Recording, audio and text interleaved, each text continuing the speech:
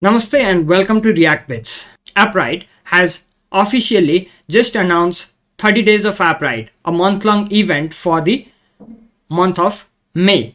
In the event, you'll get to learn the very basics of Appwrite, including how Appwrite is built, how you can run Appwrite, and how you can try its features. Then you'll move along and build a complete application learning the various features provided by Appwrite and implementing it in a real world application. In the official 30 days of Appwrite, you will be building a medium clone in order to demonstrate how different services and features of Appwrite can be applied to build a real world application.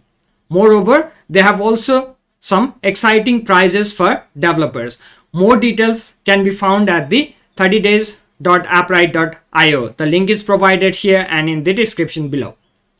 Also, I'm pleased to announce that I will be running a 30 day video series alongside the official 30 days of Appwrite covering similar concepts but will be building a real world Flutter application implementing those Appwrite concepts. The app we'll be building will be a water intake tracker as you can see in the screen, it's a very simple application where user will be able to log in and where they can track their daily water intake amount. We'll be doing all this using the various services of Appwrite like accounts, database and storage. This series of videos will be focused more on Appwrite rather than on Flutter. So for each videos where we have codes, we will provide the Flutter template ready so that we can focus on the Appwrite concepts and implementing it to achieve the goal at hand. All the codes will be shared via the GitHub repository in the appropriate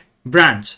Each video will correspond to the official 30 days of Appwrite article and will cover the similar concepts that are covered in that article and will be linked in the video so that you can learn more about the same concept going through the article if you prefer.